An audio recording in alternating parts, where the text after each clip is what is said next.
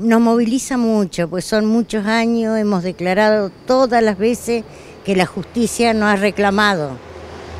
Porque es como yo dije, no nos mueve ni el odio, ni la venganza, ni el revanchismo. Lo único que queremos es llegar a la verdad. Es el único motor que nos moviliza. Y estamos siempre dispuestas cada vez que la justicia nos requiera, más allá de lo movilizante que sea, de lo duro.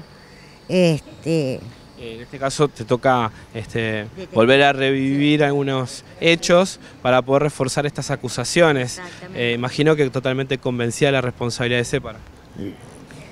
Yo a él no lo conocía, no lo conocía hasta los otros días que la primera audiencia, pero sí sabíamos, era uno de los nombres que en el caso de las víctimas de Graciela López, Cristina Luca, Marta Braseu, que había intervenido en alguno de los traslados de ella, porque se hablaba de ese nombre como otros más.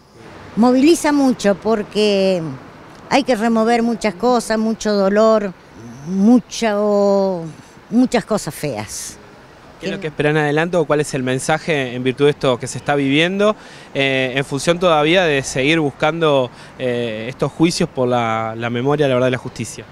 ¿Sabes cuál es el objetivo? Hay muchos compañeros muertos, desaparecidos que no tienen voz. Y uno hace esto también por ellos, también por nosotros, porque no hay otra cosa más que esperar justicia.